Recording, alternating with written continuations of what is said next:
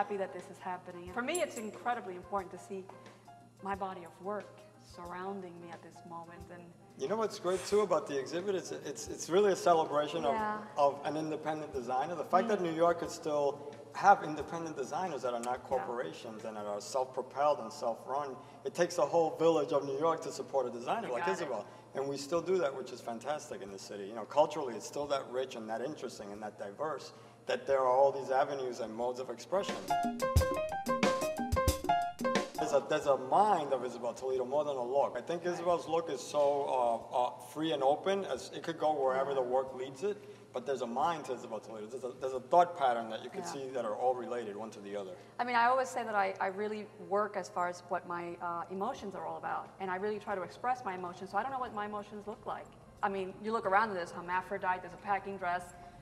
I, You I, I think the concepts are what really grab us, and I think that a Yeah. con- concept is where Isabel starts. What's what's this dress about? What's Right. its story? What is it doing more than the look? That's almost what comes at the very end. I really get involved with the pattern, the make of, of something.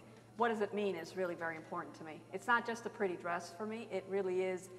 I'm trying to express a sculpture that now is going to be soft, it's going to be on a woman, a woman's going to react to it. How is that going to make her feel? Where do I put those seams so that she feels it and all of a sudden I'm actually in control of how she's standing? I mean, it's a whole psychological thing for me as well. I proposed it for that day, but was she going to wear it? She had all the all other designers, I believe, that, she, that were interested in dressing her for that day. Actually, so I was waiting. I think when it comes to that, women, I know very firsthand, Yeah. women are like that. Isabel never decides what she's going to wear till that moment. He gets you know? very mad, actually.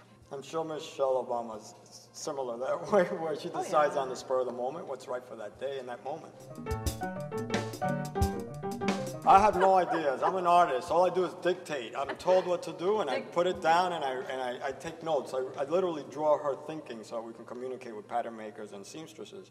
I mean, I have different ways of working. Either uh, a shape that I see from Ruben re- get, get me to think of a, of a pattern shape, and then I talk to him about it, and then I say, how will that hang? Or then I try it on a mannequin.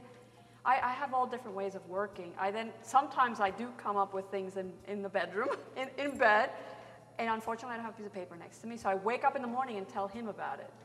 And he always says, why don't you just write it down, write it down. But it's almost better. By then, it's been Yes. twisted in dreams, and it comes out even more poetic than, than it was meant to Yeah. be, which is good.